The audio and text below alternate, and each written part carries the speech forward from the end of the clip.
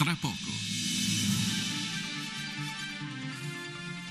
Sul canale 17 di Fano TV, l'informazione locale.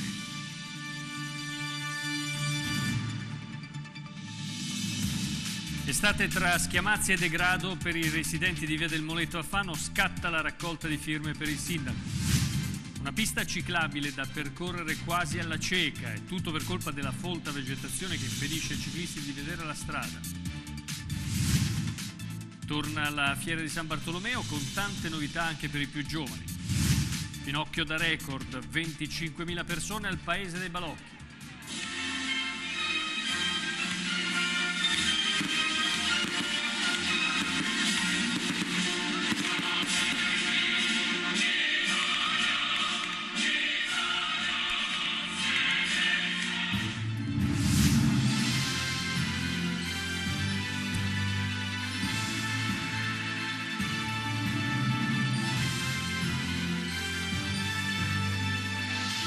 Questo è il telegiornale Occhio alla Notizia con Marco Ferri.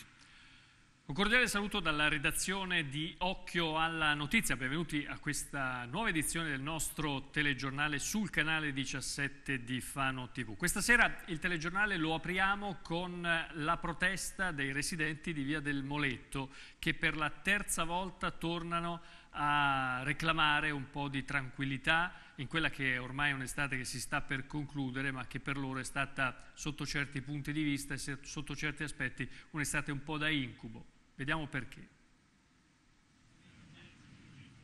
Quella di Via del Moletto è una storia infinita di sporcizia, incuria, inquinamento acustico, parcheggi mancati, multe e disagio dei residenti che da tempo denunciano agli organi competenti, comune, ARPAM, vigili urbani, di questo loro disagio di fronte al persistere di una convivenza difficoltosa con tutto ciò che avviene al di là della ferrovia e ciò che non viene fatto al di qua della stessa, via del Moletto, appunto. E non è solo il trito e ritrito braccio di ferro tra chi vuole la musica e chi non la vuole per dormire. È di più, molto di più, e soprattutto avviene da molto tempo. Sono da anni che eh, costantemente ogni anno facciamo una lettera al comune denunciando le solite cose, ma il comune è assente. Sembra che il comune finisca al fiume Arzilla, di qua come se noi non pagassimo le tasse. Comunque abbiamo problemi enormi. Prima di tutto questa strada che è stata creata a doppio senso di marcia diventa caotica la sera, soprattutto quando c'è la musica negli chalet del mare, fino alle 4 del mattino e noi residenti abbiamo difficoltà a rientrare nei nostri garage perché è impossibile la circolazione. Qualche volta vengono i vigili e noi li ringraziamo perché vengono e fanno vedere che in qualche modo ci sono, ma quando abbiamo veramente la necessità, la notte, la sera, sono assenti, siamo lasciati soli. Quindi il traffico è caotico, ci hanno rotto i paletti per impedire l'entrata ai nostri garage, vengono a fare i loro bisogni di fronte alle porte dei nostri garage. Dicevamo che il disagio deriva da una sommatoria di elementi riportati tutti nella lettera indirizzata al sindaco e protocollata il 22 di agosto dal comune di Fano. Verde incolto, sporcizia, traffico caotico nelle ore serali in una strada chiusa e poi, a tarda notte, gente che scambia gli anfratti poco luminosi in una toilette personale e poco riposo. Un altro grosso problema è la pulizia della scarpata ferroviaria perché è stata abbandonata a se stessa. Prima tutti gli anni venivano a pulire, a tagliare, anche se grossolanamente. Quest'anno lo potete vedere anche voi che, che razza abbiamo le foreste qua di, di, di cose, non, non, so, non so come si possa andare avanti così. Oltretutto questo, ieri sera l'abbiamo visto, un topo lungo così, che è spuntato di lì. Un altro inconveniente è la musica alta eh, fino, alle, fino a mattina, fino alle 4 del mattino e che rimbomba proprio nel, negli appartamenti.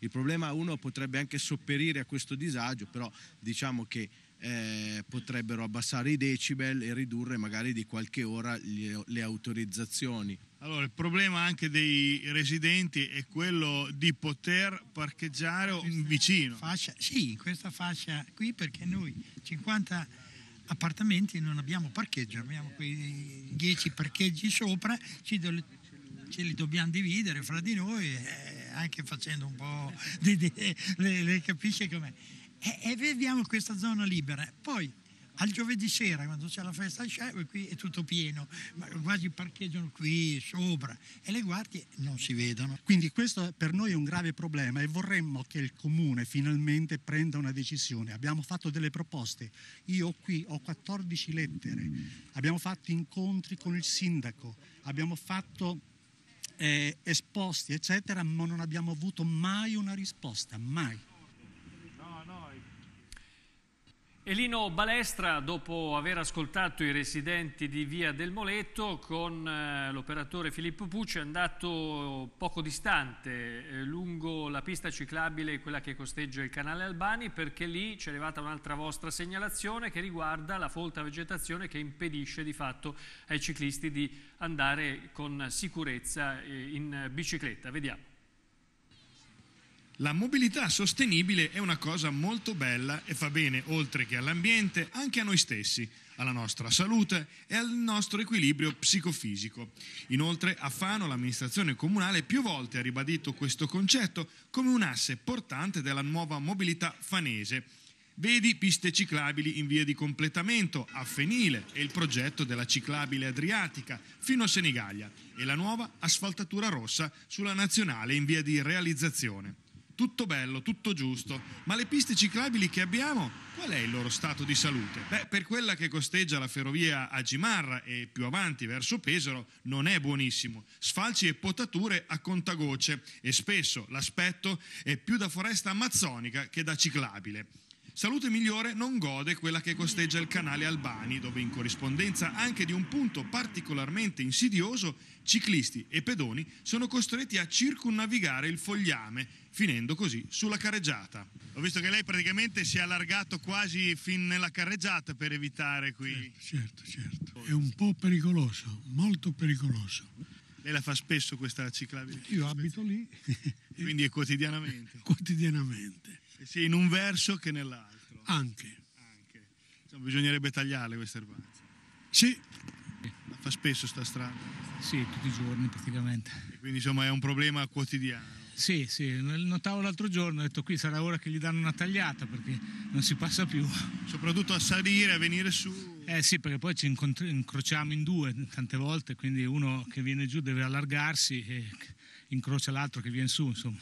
Però insomma, qui c'è insomma, una vegetazione che vi crea qualche problema. Abbastanza, anche quando vado in bici la stessa cosa. Stessa cosa, adesso sì. è a piedi però. Eh, ma è un pezzo che qua. In questo punto ci si deve allargare, magari se si passa bisogna, in... bisogna invadere la corsia delle automobili, per forza di co- quando si è in bici. Quando si è in, uh, a piedi è un po' più facile combinare, però comunque è sempre un problema. Allora, attenzione, comunicazioni di servizio per tutti i residenti del quartiere Sant'Orso a uh, Fano. Domani mattina, per chi ci segue, eh, domani è mercoledì, mercoledì eh, 24 di agosto, dalle 8.30 alle 11 verrà interrotta l'erogazione dell'acqua nelle abitazioni per eh, sistemare e riparare una tubatura che si è eh, improvvisamente rotta nella condotta idrica principale. Quindi è una comunicazione di ASET domani mattina dalle 8.30 alle 11, come vedete anche nel fascione, per tutti gli abitanti del quartiere Sant'Orso non ci sarà l'acqua potabile nelle case.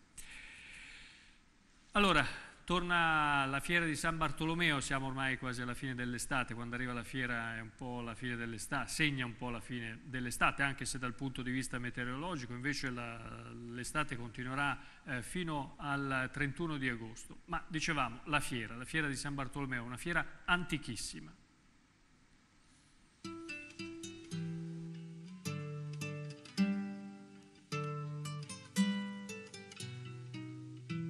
Fano non c'è solo il carnevale ad affondare le sue origini sin nella notte dei tempi, c'è anche un'altra manifestazione di altro genere e di altra natura che esisteva sin dai tempi della signoria dei Malatesta.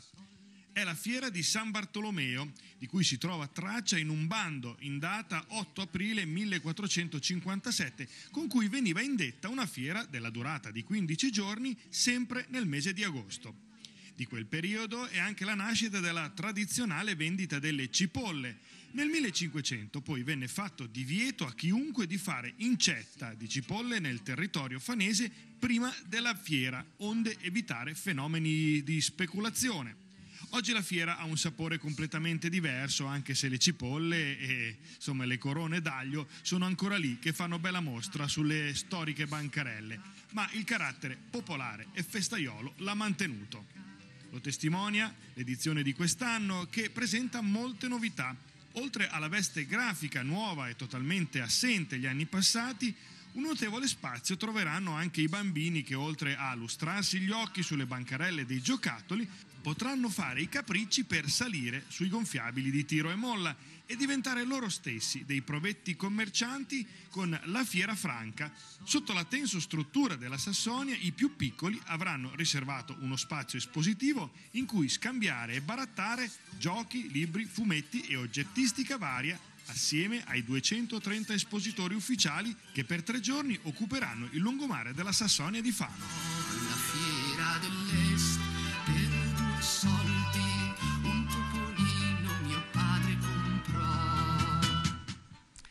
Allora, la mostra Vangia Palazzo Bracci Pagani, sculture e disegni, che è stata allestita presso il sistema museale di Palazzo Bracci Pagani dalla Fondazione Cassa del Risparmio di Fano in programma fino al 21 agosto prossimo, resterà aperta fino all'11 settembre nei soliti orari di accesso. La Fondazione Cassa di Risparmio di Fano, dopo tre mesi di apertura e un sempre crescente interesse nei visitatori che in centinaia frequentano le sale, d'intesa con il maestro Vangi, ha deciso quindi di prorogare la chiusura dell'evento per dare modo a turisti e cittadini di ammirare le opere esposte. Dunque l'apertura è fino all'11 di settembre. Andiamo adesso Urbano invece per parlarvi del Ponte dei Conciatori eh, che tanti disagi ha creato in, questi, in questo ultimo anno a causa eh, dell'interruzione della, della, viabilità della strada, ebbene è stato avviato questa mattina ad Urbania il cantiere eh, per i lavori sul ponte, al quale ha fatto visita anche il presidente della provincia Daniele Tagliolini. I lavori consistono nel rinforzo strutturale del ponte, nella sostituzione delle barriere di sicurezza e nel miglioramento della viabilità pedonale, aggiungendo un nuovo impianto di eh, illuminazione. E adesso andiamo, torniamo a Bellocchi, a Fano, per eh, l'edizione numero 13 del eh, Paese dei Balocchi, un'edizione davvero straordinaria. Pensate, 25.000 persone hanno visitato eh, questa importante manifestazione che ha chiuso i battenti.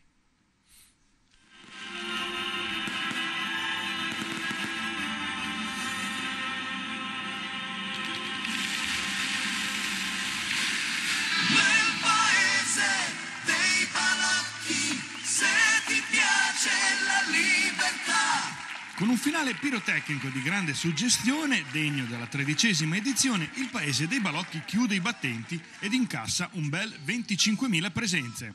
Siamo molto contenti, soprattutto per come è cominciato con Don Ciotti, che chiaramente è venuto a parlarci di libertà, uno dei massimi esponenti di, di, di- di gruppi, di associazioni che lavorano su quel tema, sul- sugli ultimi, e quindi veramente è partito col botto e proseguito con tanti altri spettacoli, laboratori e soprattutto anche tutta la fase educativa legata ai bambini. Quest'anno abbiamo aggiunto Fiabe in libertà, un'altra cosa dove i bambini, un altro spettacolo dove i bambini si possono vedere, si possono, eh, possono travestirsi nelle varie fiabe e quindi ogni anno aggiungiamo un pezzo e cerchiamo di mantenerli perché quella è la nostra veramente eh, particolarità. Si era capito subito che questa edizione avrebbe avuto un successo di pubblico come mai. Il tema e la caratura degli ospiti presentati in conferenza stampa già bastavano per far salire l'asticella una tacca più in su.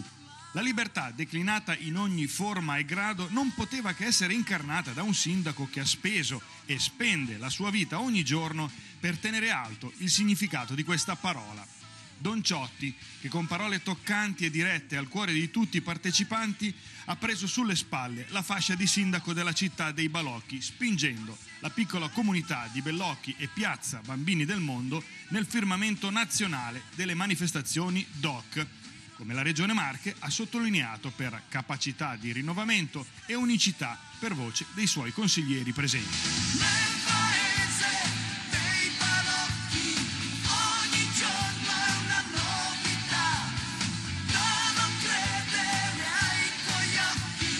Va bene il buon cibo a chilometri 17.2, l'hamburger appositamente creato, la tradizione culinaria fanese.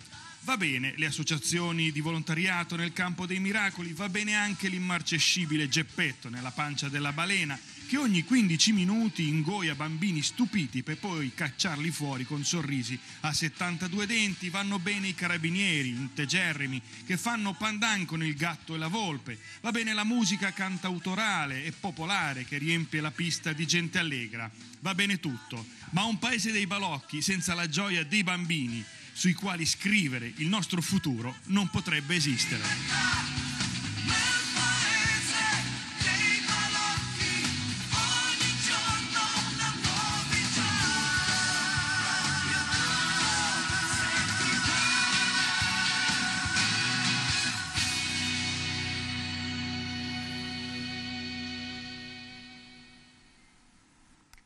Era l'ultimo servizio, grazie per averci seguito. Occhio alla notizia torna domani, arrivederci.